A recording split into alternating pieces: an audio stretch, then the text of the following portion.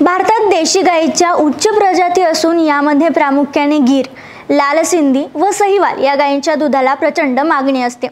देशी गायींमध्ये आजही पैदाशीकरिता कृत्रिम रेतनचा वापर कमी करून वळूचा वापर अधिक केला जातोय. म्हणजेच या देशी गायींमध्ये वळूद्वारे नैसर्गिक रेतन करून वासरांची पैदास केली जाते या पैदाशीतून नर मादी वासरे जन्माला येतात. वाढत्या यांत्रिकीकरणामुळे बैलांना कमी मागणी असते.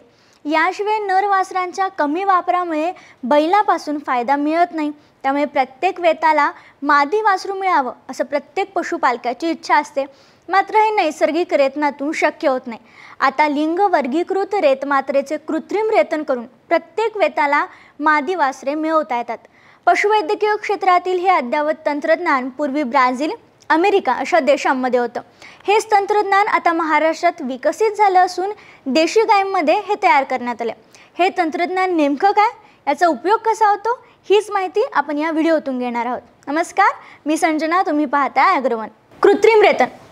रेतन म्हणजे काय? तर एका सिद्ध वळूची वीर्य मात्रा शास्त्रीय पद्धतीने संकलित करून वीर्याची शीत तापमानाला साठवणूक करून माझावर आलेल्या गाई म्हशींच्या गर्भाशयात नळीद्वारे योग्य वेळी योग्य ठिकाणी सोडणे म्हणजे कृत्रिम रेतन.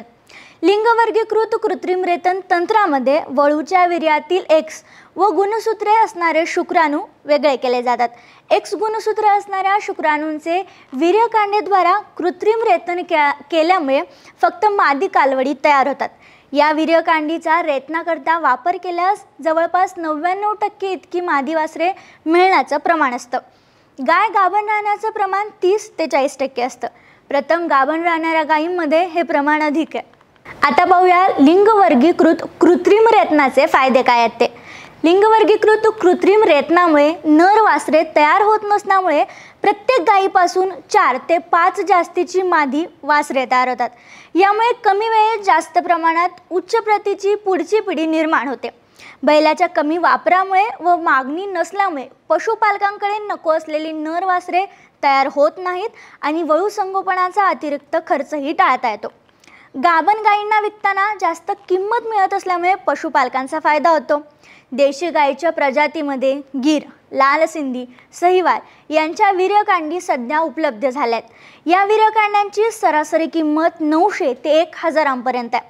अशा वीरकांडींचा वापर केल्यास दूध उत्पादन व उंच वंशावळीची पिढी कमी वेळेत मोठ्या संख्येने तयार होण्यास मदत होते. या माहितीसोबत इथेच थांबूया. अशाच माहितीसाठी तंत्रज्ञानाचे नवीन अपडेट जाणून घेण्यासाठी ॲग्रोवनच्या यूट्यूब चॅनलला नक्की सबस्क्राईब करा.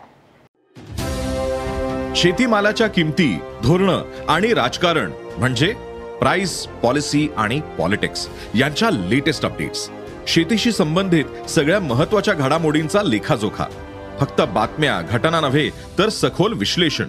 मार्केट इंटेलिजन्स संशोधन, तंत्रज्ञान, हवामान, नवे प्रयोग, शेती सल्ला, एका क्लिकवर उपलब्ध. अॅग्रोवन डॉट कॉम ला अवश्य भेट द्या.